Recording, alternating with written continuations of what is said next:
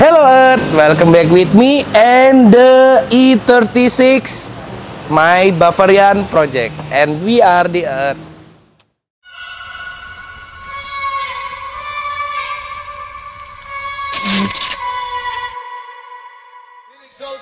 It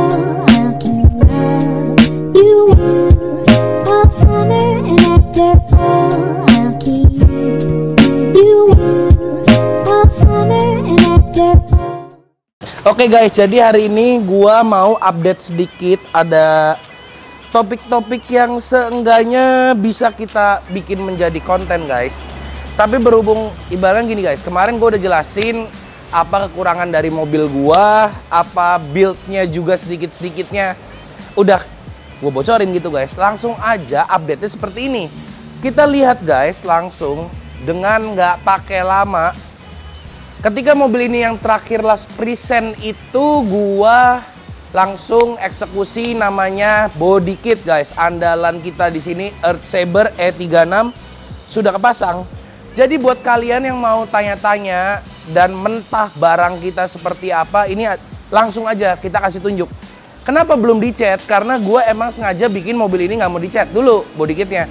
Satu, ada kemungkinan ke depannya gua mau latihan sedikit kesot-kesot sebelum mobil ini dieksekusi sama bokap gua gitu guys ya. Dan tentunya untuk lebih menjelaskan soal partnya E36 Saber itu apa aja.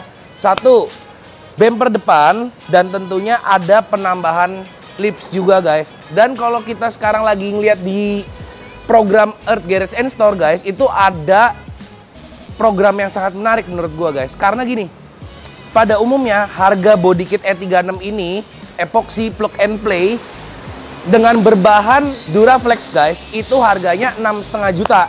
Tapi untuk pembeli 10 pertama kita kasih free lips depannya guys. Jadi buruan guys, belum sebelum kehabisan. Kemarin udah ada yang order beberapa orang karena gua nggak bisa publish di sini. Jadi gue cuman bisa nyampein ke kalian guys kalau yang mau ambil cepetan deh. Daripada nanti promonya sudah keburu habis dan ya kalian belinya ketengan. Dan tentunya kalau bisa eh, bicara soal harga guys body kit eh, enam setengah ditambah dengan lips depannya 1,5 jadi kalian tuh ibaratkan sekarang kalau ikut PO hitungannya mengirit satu setengah juta guys. Gitu ya. Ditambah lagi kalau ngeliat dari posisi samping guys yang kalian kemarin mungkin kalian lihat ya lampu corner gua hancur banget dan nggak tahu pakai lampu apa. Sekarang gua udah menggunakan lampu yang seperti orisinil ya guys. Walaupun bukan ori tapi ini mobil gue sementaraan buat sedikitnya performance. Kayaknya nggak perlu yang ori-ori banget kali ya. Yang penting bentuknya kelihatan rapi dan lengkap mukanya guys. Ditambah lagi gue kemarin baru ambil nih grill nih guys. Ini kalau barang-barang replika gue langsung open buat kalian juga. Mudah-mudahan bermanfaat ya. Kalau lampu sen harganya 350.000 sampai 400 ribu guys. Itu rate segitu. Ditambah kalau grill gua kemarin beli tuh 800 ribu gitu ya. Grill 800 ribu nggak sih? Replika?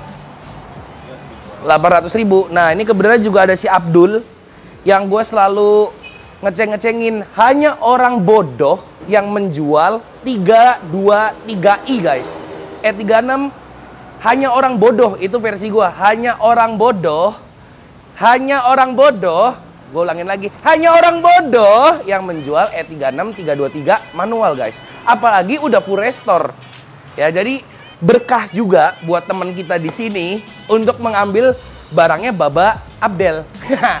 Karena jujur aja kalau mobil dia ngelawan versi yang gua punya sekarang, ini nggak ada apa-apanya guys. Kita bisa lihat langsung kekurangan-kekurangannya tuh banyak banget dan perintilannya harganya juga udah luar biasa mahal ya. Contoh, hal yang paling menyebalkan dari mobil ini, nih, washer. Washernya tutupnya masuk ke dalam dan berbentuk seperti apa nih? Gue nggak ngerti ini meleot-meleot, beset-beset, gue nggak tahu lah bahasanya apa. Yang jelas ini lumayan nih guys harganya. Copotan tuh 400.000 ribu, kalau nos satu komaan kali ya. Iya ya, yang putih banget ya. Nah, kalau yang nosnya aslinya berapa? 4 juta setengah. Oke, berhubung mobil ini akan performance, Enggak, gua cabut buang biar bodo amat. Dan tentunya gue yang hoki banget guys di sini adalah karena dulu dia punya mobil yang ibaratnya nggak mau standar berbalik dengan gua. Gua mengumpulkan barang-barang limbah yang bisa masuk ke mobil gua dan gua sabotase list pintunya guys ada di sebelah sini. Oh ini bekas di mobil. Iya, ini bekas Dibo nih. Kan lu kan pakai MTEK. Iya. Nah, ini list bekas E36-nya si Diki nih. Tapi bagusan gini daripada MTEK kecil. Emang penyesalan dan kesadaran itu selalu datangnya terlambat. Makanya gue diemin aja sampai dia mikir sendiri. Jadi itu gunanya keep silent guys. Oke lanjut lagi. Ini udah thank you banget Baba Diki. Udah sebenarnya dia nggak ngasih ke gue, tapi gue langsung ambil aja bodo amat. Lagian dia kan hanya orang bodoh yang menjual E36. Gue berulang-ulang kali bakal selalu ngomong ya gitu. barangnya ya? Ada di belakang. Kemarin gue ngorek-ngorek sampah nih. Sampai akhirnya nemu. Dan kalau kalian beli copotan, ini kurang lebih 800 ribu sampai 1 juta. Iya. Antara segitu guys. Jadi 6 juta. MTEK 6 juta. 46. FRP 750. Kalau plastik Taiwan sejuta dua ratus puluh. Sejuta 250. Karena gua pun juga sudah belajar di online market. Jadi ketika saya menemukan ini, puji Tuhan saya ngirit lagi. Dan lanjut lagi, side skirt guys, jangan lupa ini side skirt juga eh, include ya. Dan emang sebenarnya kelemahan desain Saber gua akuin kalau nggak pakai lips depan, jadi kayak sampingnya tuh lebih gondrong dari depan. Tapi konstruksi BMW balik lagi guys, emang semua body kita seperti itu. Jadi kalau gua saranin di sini mumpung lagi ada promo yang mau pakai local pride kita support, ayo bareng-bareng kontak gua. Lanjut. Kalau di bagian buritan ini adalah bumper sabernya dengan menggunakan center muffler guys alias knalpot tengah yang tentunya nanti gua akan kerjasama sama temen gua melalui partner gua. Nanti gua bakal kasih bocorannya siapa. Dan tentunya kalau bicara soal mesin ini mobil udah enak banget. Kemarin gue thank you banget buat bro gua yang di Bandung yang ngidupin mobil ini dan sampai ke Cirebon. Thank you. Gue percaya mesinnya no trouble guys. Enak. Dan ditambah lagi mungkin ke depannya gue akan mengganti ini nih. Lampu belakang ini udah busem banget udah hancur dan mudah-mudahan gue bisa mendapatkan part lagi dari tumpukan-tumpukan sampah gue di belakang. Gue nggak akan izin si Abdel tuh gue langsung ambil nanti gue bakal langsung pasang bodo amat. Tambah lagi apa ya update nya ya? Mungkin bicaranya kalau kemarin soal list pintu ini list pintunya kemarin kondisi begini nih guys. Jadi eh, E36 itu terbagi dari tiga bagian ya. Yang ada di fender ada di pintu depan pintu belakang. Itu list pintunya tuh terbagi tiga bagian dan tentunya buat kalian yang mau ngambil E36 tolong harus hati-hati dan percaya bahwa barang-barang OEM alias stok BMW itu mahal guys. Dan guys ini hujan. Berhubung hujan gue langsung pindah aja ke dalam nih guys. Biar nggak kehujanan. Ayo lanjut lanjut lanjut. Mungkin juga nanti mobil akan gue pindahin ke dalam dulu.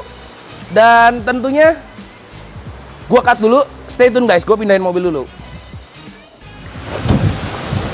Oke guys, lanjut lagi. Berhubung ini hujan nih, tapi masih gerimis, kita menyelamatkan mobil. Dan berhubung ini pasti gelap di kamera, gue nyalain lagi nih lampu.